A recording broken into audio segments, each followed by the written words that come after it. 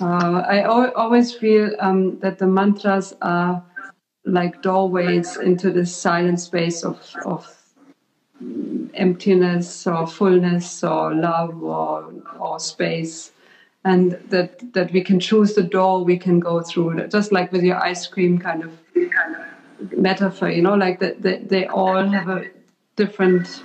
the, the, door has a different look and a different feel mm-hmm. in the end we will always get to that space of it's always the same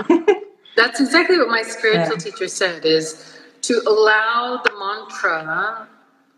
to match the unique personality or the you can say actually the unique biology of the person